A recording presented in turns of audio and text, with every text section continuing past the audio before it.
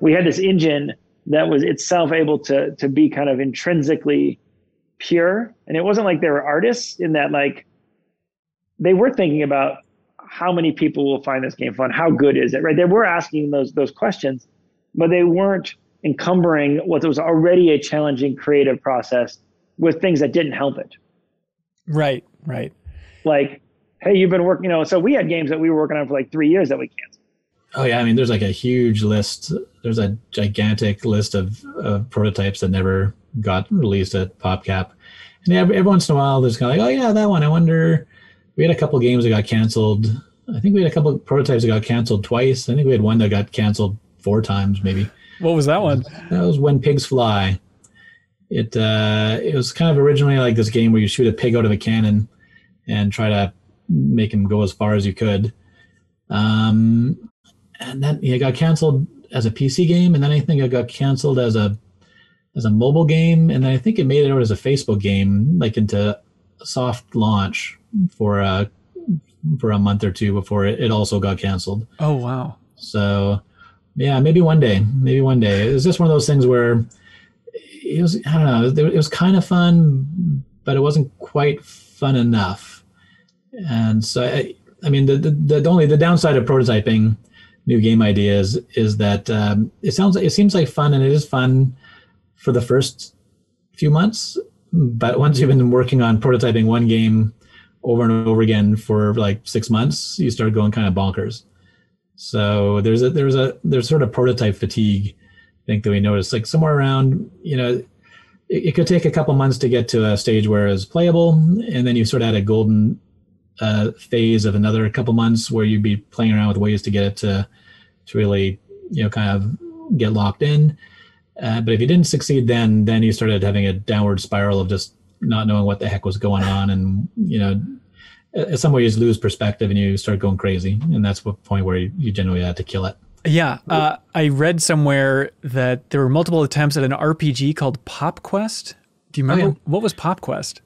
Um, Pop Quest was a uh, it's kind of like a roguelike basically. It was like a roguelike dungeon crawler except with you know kind of very cute uh, cartoony characters that you'd um, that you'd uh, move around. But it's kind of it was, full on tactical rpg you know you'd have little guys moving around kind of xcom style you know uh, combat in these little dungeons.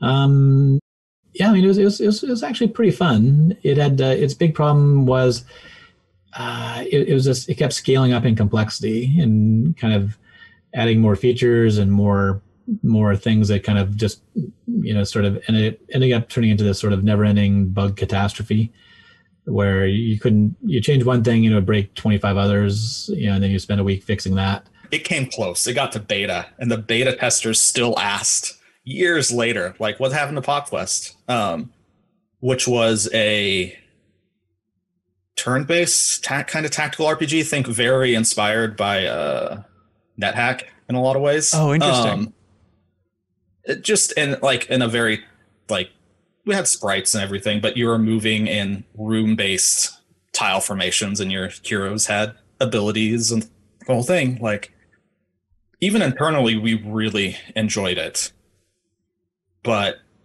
uh, it.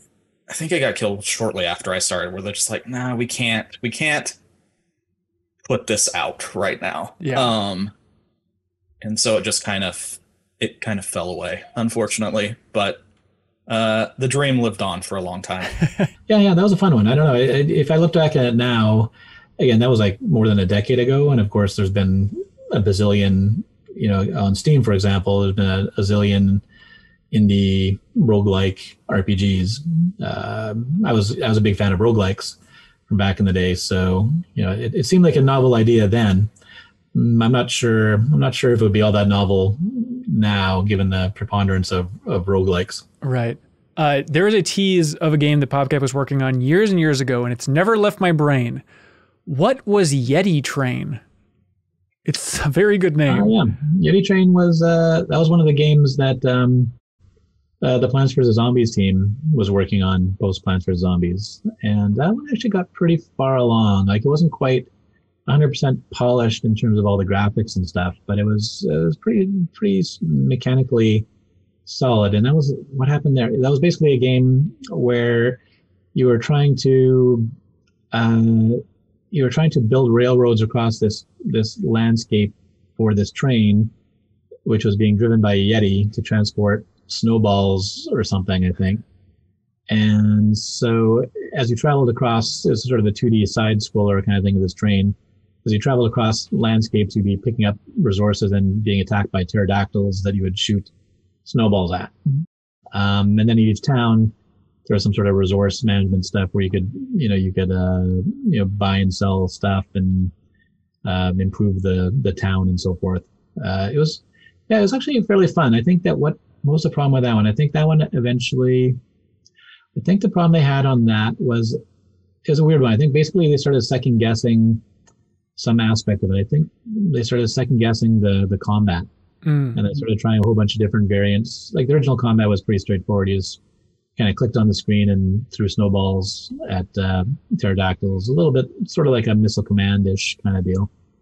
Um, at some point, yeah, they somewhere somewhere along the line they decided to start trying some other version of combat, and it started, and then it kind of just yeah, they just sort of weren't able to find something that satisfied them, and it kind of just sort of got sort of mired in in that until it kind of uh, kind of collapsed. Yeah, Yeti Train was awesome. Like anything that George Fan did was always great. Um, and Pop Quest was pretty good too. But, you know, it it's funny because there's a lot of stuff that was on the cutting room floor. Um, and the fact that that stuff didn't get released, I think, is like a testament to the just how great that company was. It was like any lesser company would have put that stuff out. You know, I mean, so oh, you know, um, oh, what was it called? There was a space game that was actually like a ripoff of an earlier space game. Like it was basically like a space battle game where you had like these little tiny asteroids kind of ships and you're flying around and there's like some gravity and you're shooting each other. That game was super fun and totally awesome. We played a lot of it, but it never made it out. A couple years in, there was some prototypes for like a an Xbox Live Arcade platformer Oh, interesting. We got pretty far on that, like trying when Xbox Live was really uh, blowing up, and that was like a really great place for like small indie games. And like we had ported Bejeweled and Zuma, um, Astropop, like a number of our core games on there, and they were doing really well. We're like, well, what if we do a just a game for Xbox Live, like focus it there first? Um, yeah. And yeah, uh, a couple of the guys there were really into like uh, platformers, and so they worked pretty hard for a while on like making this like platformer prototypey demo thing. Do you remember um, what it looked like, or what the name was, or anything like that? I don't remember the name. I don't know if it ever had a final name, or it didn't have any kind of final. It was just sure whatever they had called it. Um, it had like a robot pirate theme going on. okay. Uh, with like getting bunches of treasures and loot um, it was pretty combat heavy. There was this game. It was in the later years, uh, so under EA, probably my last year, and uh, we had this this this Pop Labs, this prototype kind of group that was doing prototypes, and uh, and we gave them a lot of kind of creative control. We tried to kind of within EA and within the freemium mobile gaming world to kind of kind of like trying to apply what worked at PopCap to this new world. And uh, we weren't successful um, for a variety of reasons. And um, but I feel like this, the game that, that was being worked on was was really good, and, and old PopCap would have let it become itself. And at that point, we were no longer that, and so they they ended up canceling it. And I think I, I regret not not being sort of an advocate for them doing it. And what was it? It was like a um, oh, what was that game? What was the game? It came from Japan, or I think maybe China, and it was like almost like I think it was called a match three. It wasn't the same mechanic. Oh, Puzzle and Dragons. well, yeah, yeah, Puzzle and Dragons. So it was like, uh, it was a little inspired by that, and you would like make these connections between different things, and then depending on how you did that, it would power up. You had these a team of superheroes, and it would power them up to do different things. And then depending on what chain you did and how you did it, it could allow combos or, or triple combos, and so like heroes could have synergies or not synergies with each other, and then you were kind of like playing. Um, you know, you're going through battles and stuff. We, we had a couple Puzzle and Dragons clone, like not clones per se, but trying to take that. Um, I don't even know match RPG type stuff. Yeah, Um, chaining match. I don't know how much you call yeah, it, but yeah. yeah. I worked on one for towards the end there for a while that was like a sci-fi themed um chaining thing where you're putting together a crew and could modify your ship and stuff and move through like a solar system. Think in some ways like a map somewhat inspired by FTL at the time. Okay. Uh, but where the the main mechanic is doing these different matches of systems that would fire weapons or power shields, a little bit of Star Trek influence there. Uh, that was a that was when we actually had kind of a prototyping group. Uh, it had a bunch of themes. Sci-fi was one of, towards the end when I got on it um, with a couple other people. Um, but I think it had gone through like a potential superhero theme before that, Mhm. and then that always came up of being like, oh, if we do a superhero theme, can you really do your own superheroes? Does that work out, or do you really, if you're going to do superheroes, do you have to go to like Marvel or DC um, and just say, hey, we want to get a license for this because Right. how much do people care about your own made up superheroes? it just needed an advocate i think it needed it needed some external like hey we can we can do this and and then even if it doesn't work well, let's do this right? And i think that they were just feeling like that wasn't going to happen under ea so they ended up making the choice to cancel it.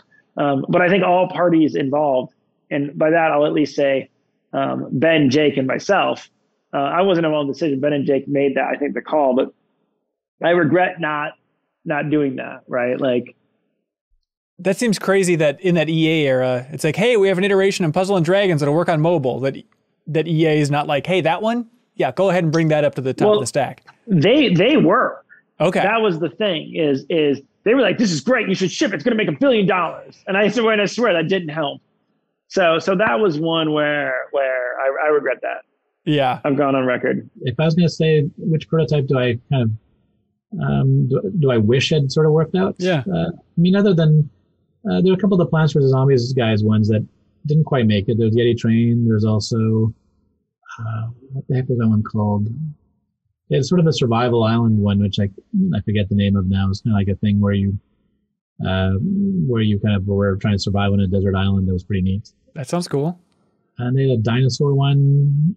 Um, I can't remember that name of that one either. But uh, out of the other ones, there was a Bejeweled var- variant that uh, I worked on called Bejeweled Paradise. Actually, Bejeweled Paradise had a lot of the mechanics that are now seen in a lot of those merge games. Uh, there's a lot of these merge dragons and a whole bunch of other Mm. games like Triple Town, where you're essentially merging uh, merging things into uh, different tiers of objects, which uh, I thought was pretty neat, but never quite. Uh, it was it was a bit too different than base Bejeweled, and so it, it kind of got canceled because it was uh, as we discovered with Bejeweled Twist, it was kind of once you got a little too far from the core Bejeweled mechanics, it kind of turned off the core Bejeweled audience.